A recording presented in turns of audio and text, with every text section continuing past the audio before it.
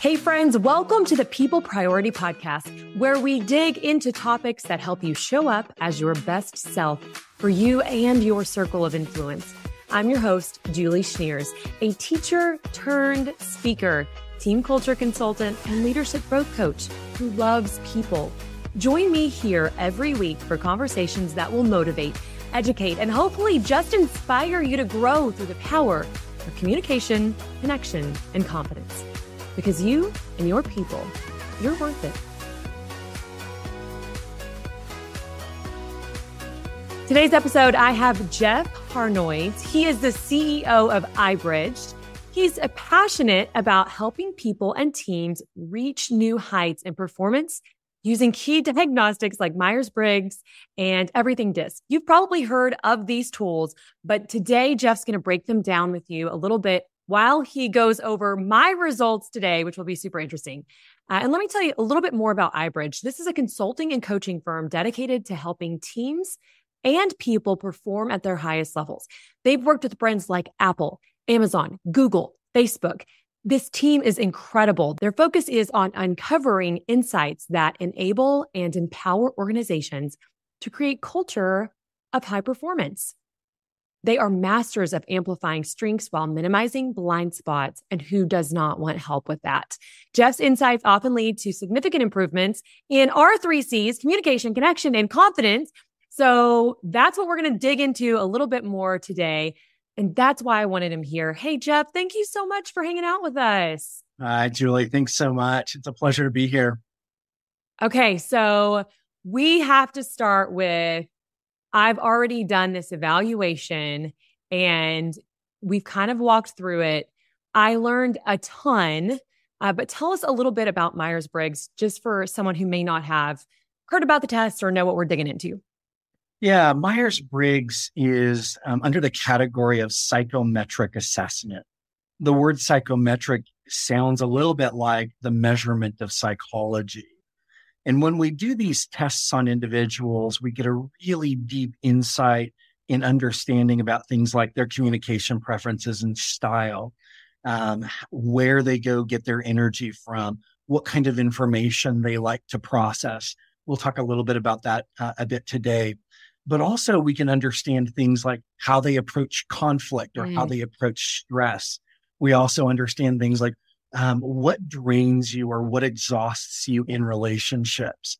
And then I think one of the key things is really when we understand those elements about ourselves and then we understand those elements about others, we can find really clear, cohesive paths for coming together. Which is important when you are working as a team, when you're trying to build culture. Yeah. Or even in individual relationships. Um, oh, for sure right? You you may recall um, I was first exposed to Myers Briggs. Yeah, I probably shouldn't shouldn't list the amount of time, but it was a long time ago. Uh, my wife also had some exposure to it. Turns out we are not the same personality type, um, but we've used what we've learned from those assessments. And you know, in February it'll be forty years together oh, wow. in our marriage, and you know, a portion of that is is attributable to understanding how best mm-hmm. to work together as a couple. Mm-hmm. Well, and I talk a little bit about the power of relationship building, that connection piece, right? And I I say, man, you are not going to be able to show up as your best self as a leader, uh, leading your people if you don't know your people. You're going to have to build that relationship to get to know them. But this is kind of just the hack to do that. This kind of gives you the keys to the kingdom a lot faster Uh, especially if you're a new leader in that space. I really love that observation because it's so true. One of the things that we talk about with teams and with team leaders in particular is that every team is unique like a fingerprint. Yeah. Every single team is unique like a fingerprint. That means what they need from you is going to be need, needs to be highly customized to them and for them. Yeah. And if you don't understand the design of the fingerprint, then it's impossible for you to give them what they need to be successful. Mm. That's such a good analogy. Yeah. Yeah. We talk with leaders a lot who are sometimes very um, driven uh, and they see things in a certain way. And They know what's worked for them in the past. And so they try to replicate that on new teams as an example. And then they can't quite figure out why it's not working. Well, it worked before. Why isn't it working now? And the reality is it's always that fingerprint, which is now different. Yeah, could feel a little bit different. Okay. So, what we're going to kind of talk about a little bit are my results, and you're going to give us tips and tricks in some of those spaces. But I want to share. So, if you are familiar with it, I am an ENFJ. Okay. So we have no idea what that means if you're not familiar with it. So tell us a little bit about the code there. Yeah. So Myers Briggs is based on 16 distinct personality types. You have one of those 16 types, ENFJ. The E element is for extroversion. And so we often see extroverted folks who are lively. Sometimes they're a little bit loud. Often they're very expressive. They talk with their hands and their face, and there's a lot of physical movement going on. Um, extroverted types are very engaging. Often we'll see extroverts as the life of the party and the center of attention. The other side of that dichotomy is introversion. Mm-hmm. And we see a lot of introverts who have a tendency to be a little quieter, maybe a little more still in their body and in their presentation. Oftentimes, they appear to be a little more thoughtful when you ask a question. There may be a pause. And for extroverts, that may look like disengagement or arrogance or mm-hmm. being aloof, when in, reality, introversion is really about sort of being in your own head versus being extra mm-hmm. extroversion in the world. Yeah. So your piece is extroversion. My side of that equation is introversion. Mm-hmm. And so knowing that about each other when I show up with you, I want to bring a little more energy. I want to be a little lot more alive. I want to have a little faster pace so that you and I can connect more quickly and more deeply, just on that particular dichotomy alone. The next element is sensing and intuition. This is your N, N for intuition. You and I share this particular attribute. Mm. Folks with an intuition preference have a tendency to be more theoretical in their thought process they have a tendency to see a bigger picture. And when we think about theoretical as a concept, um, you can see there's a pretty strong alignment in there with strategy. Strategy is future state. Strategy hasn't happened. It's about we're thinking about what's going to happen.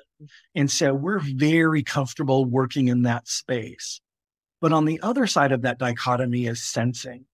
And sensing folks are generally significantly better at tactics because they're very focused on what's real and what's tangible and what's in front of them right now. And so you and I might be having a conversation about stars and light years and, you know, very conceptual and theoretical. And a person with an S preference might be like, I don't really know what you guys are talking about or even want to know what you guys are talking about. I can feel the warmth of the sun and I can see the light of the moon. Those things are very real and very tangible.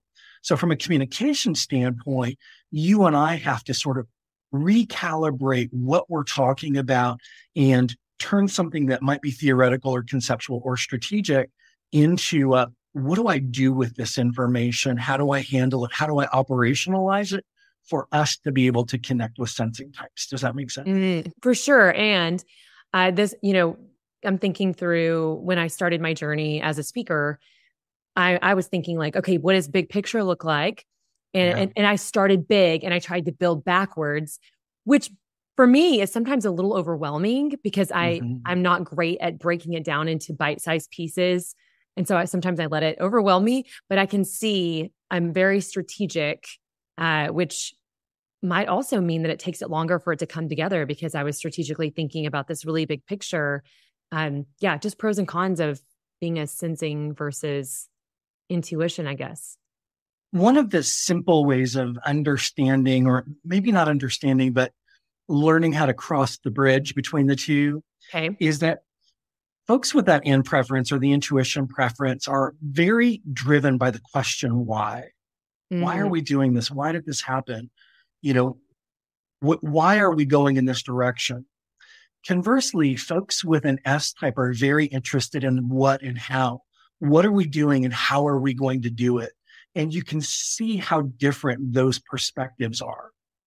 Yeah, and that's also why it's really important that I hire people who are sensing. Like I I need the what and how people on my team to help me navigate my uh, inness. That's a really important observation. And the reason it's important is um, if we don't have balance from that perspective, mm-hmm. then we usually end up missing really big opportunities and yeah. we're significantly less successful in trying to accomplish what we're trying to accomplish. So, from our perspective, from you know, as a consulting firm, when we're working with leaders, we work really hard to help them balance that themselves versus having to hire people to come in and create the balance for mm. them. Yeah, that's awesome. Okay. So now the next one is thinking versus feeling. And I yeah. was a feeling person. And if you know me, that's not surprising at all.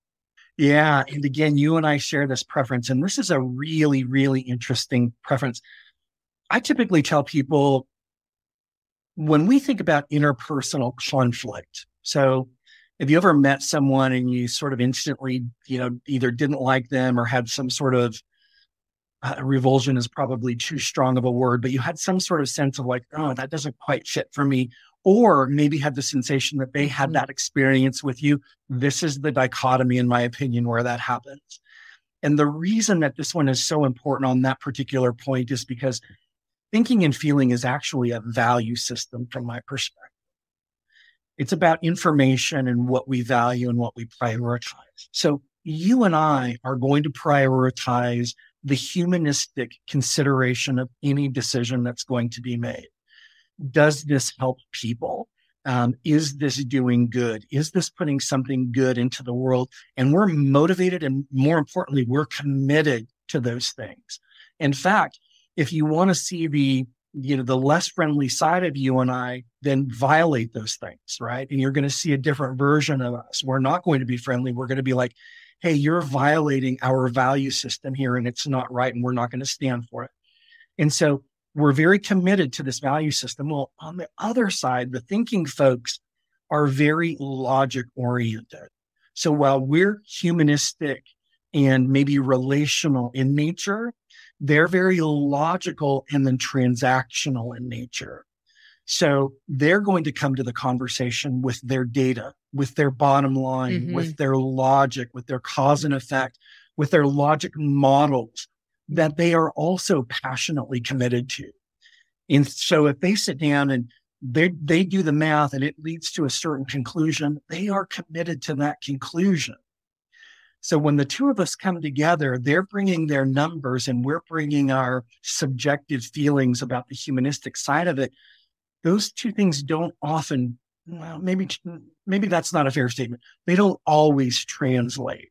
Okay. And what happens in this conflict is if i sit back and i say listen i can see your numbers but i'm not sure that they're going to be providing good to people that person is going to feel like i've challenged what they value which is their data.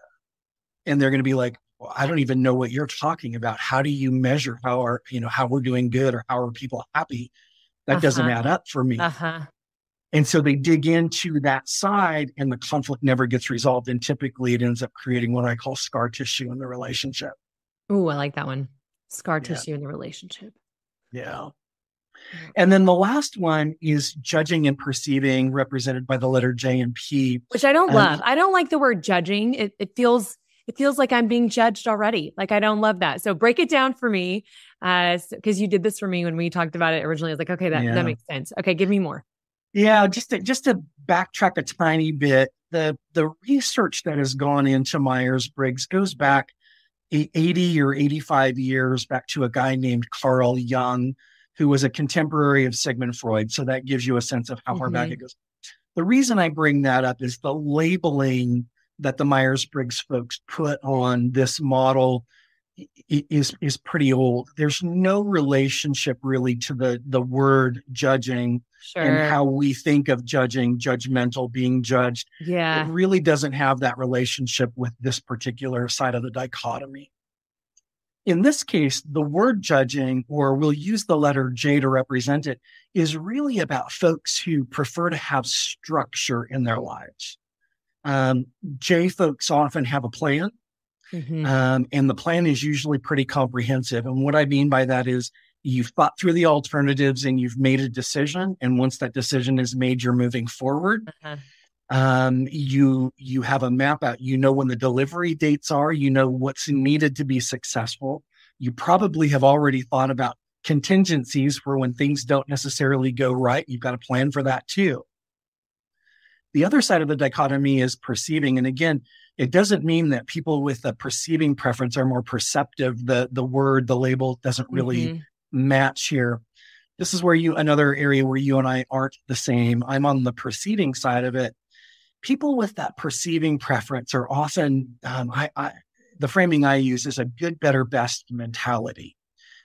We're we want to see something, and when we see that thing, we think, how can we improve it? How can we make it better? How can we how can we combine a couple of things and really make this thing great? Notice some of the big differences here. I'm always ideating around making something better. So my self perception about my value to a team or to an organization is the ability to see those opportunities. Your value to the organization is to take that idea and get it across the finish line. Hmm. However, if you and I don't know that we have very different styles, what's going to happen is you're going to perceive me as a threat to your ability to get the thing sure. done. Why? Because I'm always coming up with these new ideas. New ideas. Yeah. We had a plan. Why did you why did you stray? Why are you giving exactly. me exactly? Yeah. It was a great plan. A lot of work went into it. And if we try to consider your uh, your new idea, we've got to go back and rework the whole plan and reset expectations and yeah. everything that goes into it. Well, not only that, but you're if if we're both working on the same team and you're working to make our team plan better, that I had a big hand in creating the plan. It looks like you're al- almost coming at me. Yeah. Not just the plan if if we aren't aware of those just different personality pieces. That's, well, that's so okay. carry on. Fun, I can feel it. I can feel it. Tell me what fun brain, comment. What, what what did your brain just uh, alert to when you when I said that? Notice how you personalized it by saying it feels like you're coming at me. That's actually your F. Okay, your the feeling, feeling your feeling type influencing your your J type. Yeah, makes sense. What a what a fun fun connection for me.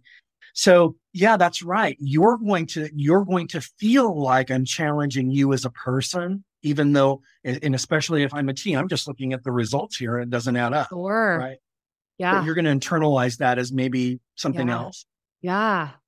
Okay. So with all of these letters, is there a pairing that you find the most conflict coming out of that you have to do the most work with when you work with teams? I don't know that there's a common one from an engagement standpoint, but I can give you a couple of things to think about. Okay. So if we go all the way back through the model, um, S types are very tactical and J types are very executionally oriented.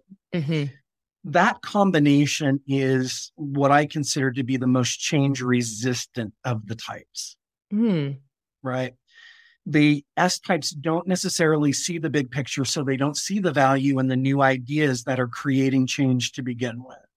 Mm. They want to they want to see a problem, solve a problem, and all of this extra stuff feels like noise to them when we pair that with the J, the J wants those decisions made and they're already moving forward.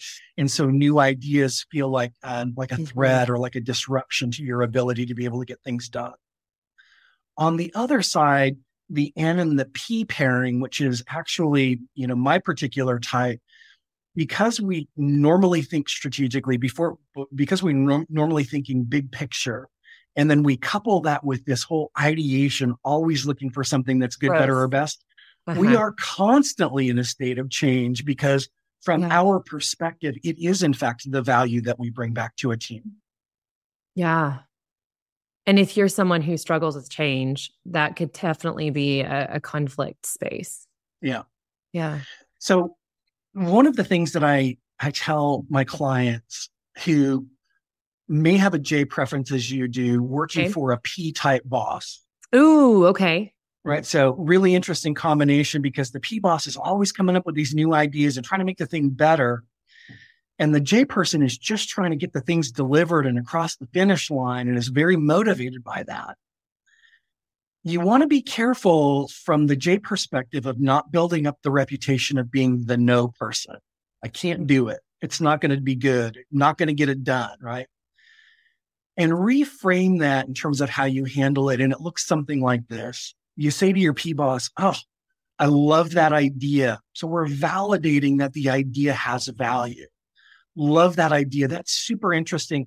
I can probably get that done in phase two. And so what we're doing is we're not saying no, we're saying no right now. Mm.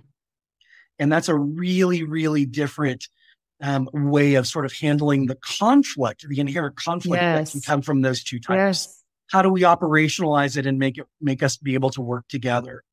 Now, what's funny to me in a very ironic sense is that when you validate the P, the P will then go away. Like, okay, you've got this, right?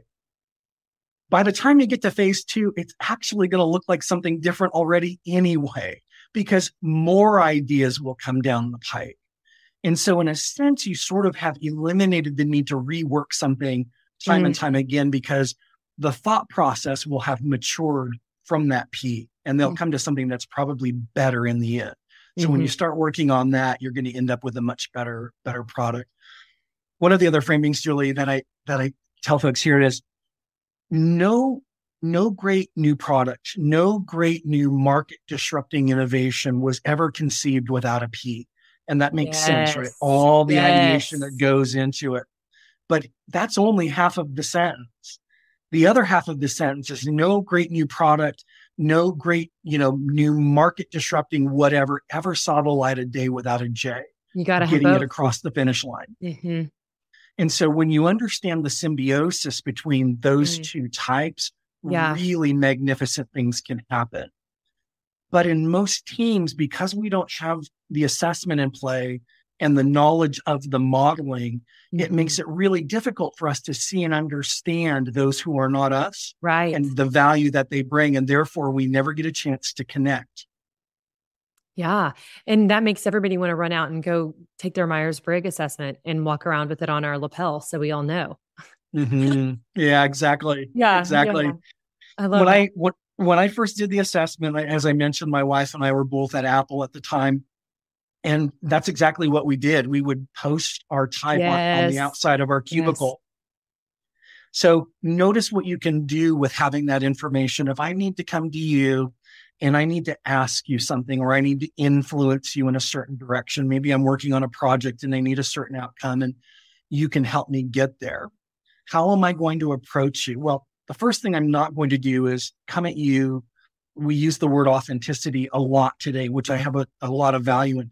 I'm not going to come at you fully authentically me mm. because I already know that my communication approach to you is not going to work. Mm. Right.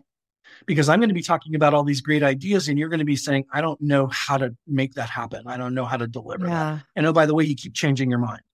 Yeah. Right. Which is so stressful.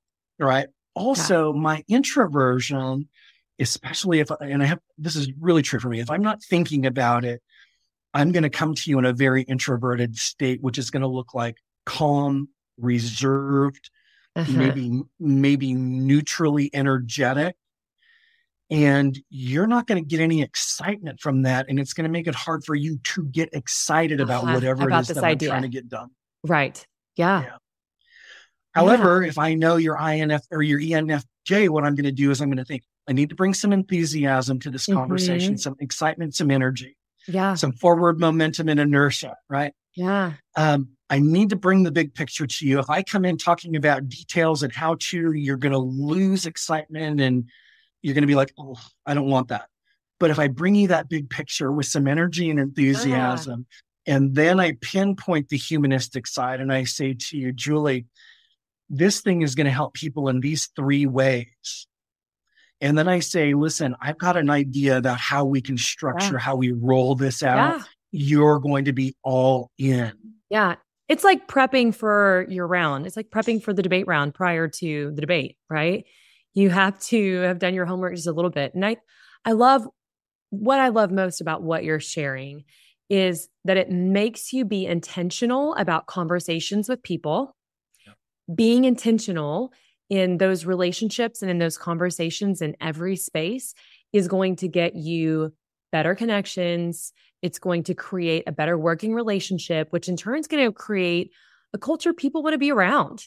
Exactly. want to be a part of. Yeah. Exactly. So it, it does take being intentional. Even if you aren't doing the Myers Briggs assessment across the board and putting it on your cubicle, uh, it's still getting to know, okay, this person functions this way. That, but Myers Briggs is a fast track. Yeah. Myers Briggs, yeah. So you, you mentioned in the intro Myers Briggs and DISC. Myers Briggs mm-hmm. is a four dimensional assessment. And we've looked at those four dimensions. Another psychometric that we use is called Everything DISC, which is a two dimensional psychometric. So when I'm working with career clients, my career clients, we usually will dig into Myers Briggs, but it takes more work and effort sure. to be able to operationalize it. Yeah. When we're working with corporate clients and especially groups, we typically use everything DISC because it's much faster and easier to start working on. Mm. Yeah. That's a good note. That's a great note.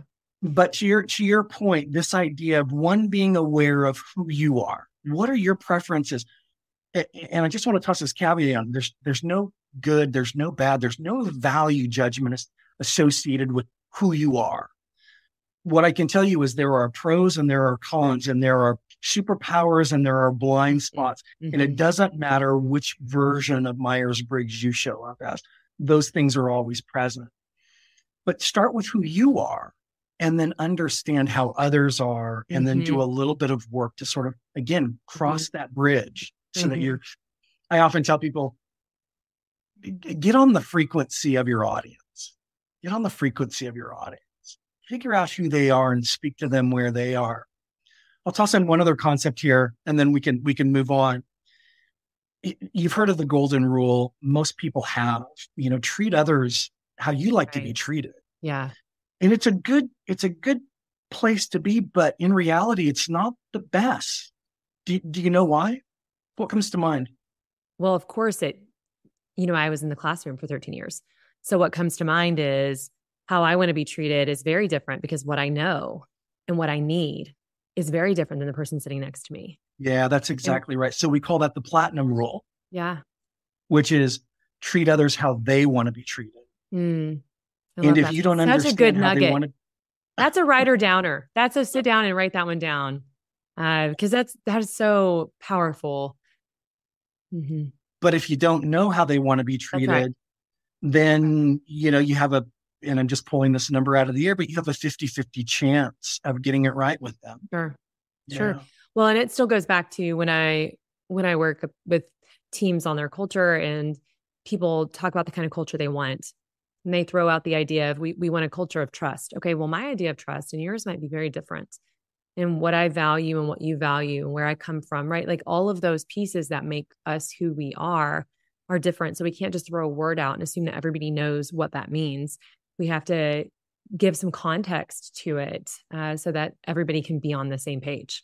Yeah, I I love that you're talking about trust here it's it's really true. Um, we we do a lot of work with our clients around trust and building trust. And one of the first exercises that we do is we break people up into their psychometric groups, and we ask them, "What does trust mean to you?" And uh, how do you define trust? And how do people earn trust with you? And how do people lose trust with you? And you will be amazed at how different that landscape what those conversations look like. Mm-hmm. Yep those conversations are my very favorite thing to do. Yeah. And I think yeah, that's where you start. You. I think even if you're listening and you're like, okay, what am I taking away from this? Because I'm, I don't necessarily have the uh, tools or resources to go out and put my whole team through an assessment like this, or even Enneagram. I have another friend who does Enneagram, and we can have similar conversations, right? Yeah. Yeah. Uh, but but I think it still boils down to taking the time to have those conversations. Yeah. To get to know your people, to get to know what they need uh, and, and, to be able to share authentically what it is you need also um, even if you're just on the team as a peer or if you're the leader i think it's very impactful and yeah. this is man these are such good pieces and i know we could talk all day long about all of the pieces especially when you started when we walked through the extrovert versus introvert pieces. I, I, I know like instantly ways to work with people uh, who are opposite of me just by the conversation that you and I have. So I, I would encourage everyone to check you out. Um, I'm going to add his information in the show notes. So if working with iBridged or just learning a little more is something that you're interested in, make sure that you tap into that. But Jeff, what are from our conversation today three takeaways you hope the audience heard?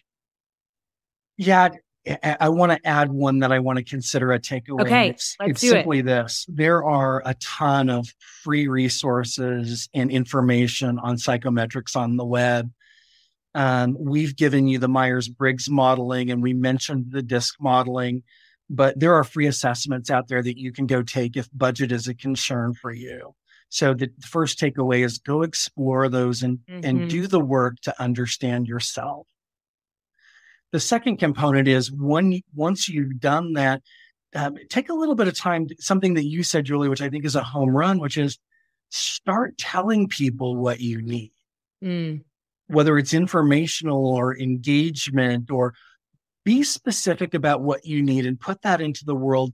And the framing for me is help other people be successful in engaging with you. Give them the map of how yes. to do that. Right? Yes. And then the third component is understand yourself in a way that enables you to then get on the frequency or be in the lane, connecting with the audience, whoever that is, it doesn't matter. And it doesn't matter if it's in person or if it's being done electronically, but figure out what adjustments and what adaptations you need to make to more effectively connect and communicate with the people that you're connecting with. Those are so good. Are Thank so you. Good. Yeah, thank you for sharing so many golden nuggets. Okay, our challenge. I'd love to wrap it up with a challenge. What have you what do you have for us today? Yeah, so whether you've gone out and done an assessment or not, um, whether you've done any of that, whether you're interested in learning more about these models or not, the challenge today is to go do something that I call mirroring. Mm. Mirroring is you do what you see. So every time you meet somebody new, as you're speaking with them, observe all of their characteristics, their pace of speech, how much movement and motion is going on, what sort of expressions are they showing. Um, also, listening to what they're talking about. Are they talking about what and how? Are they being tactical or are they talking about being more strategic and theoretical? Allow yourself to do what it is that you see and what you hear through mirroring. And the reason that this is a challenge is you don't have to have any of this other modeling. Your body will viscerally tell you who you're talking to. So I challenge everybody who's an, in the audience today yeah. to go practice that and have great exercise. Yeah. Yeah, that's a great exercise. Yeah, thank you. Okay, quote. Your favorite quote. Grow us. Yeah, it's it, this is my favorite quote too, and it's it's so simple. Um, it's attributed to Bruce Lee, the martial artist, mm. and the quote is, "Your greatest strength is also your greatest weakness." Mm. I feel like that's so thought provoking. We need extra homework. I don't, that's a lot. That's wonderful. For me, for me, the connotation is simply this. You may be a great extrovert, and that may be your superpower. But when you go connect with introverts, it's probably a weakness and you're not even aware of it. Mm. And so the quote to me says, understand what it is that makes you great. Also understand that that's going to create some blind, some blind yes. spots with certain people or in certain situations. I'd love for you to have an awareness around. Yeah, that's so good. And so helpful with everyone that you're in relationship with. So absolutely. I hope that I hope that you can visit with me again because I've really enjoyed getting to know myself more as we walked through my ENFJ uh, and just kind of picking apart what this looks like and how we can be better at building relationships with people in our space. So thank you so much, Jeff. It was an honor to be here, Julie. Thanks so much yeah. for the invitation. Oh, always. Oh, I loved it. Okay, have a great week. And don't forget your challenge because that could be super effective in growing you. See you next week. Hey, thanks for listening and being my people. I hope you enjoyed this episode. And if you did, hook me up with a five star review. And as always, don't forget to subscribe to the People Priority Podcast so you don't miss out on more tips, tricks, and important reminders. I'll see you next week.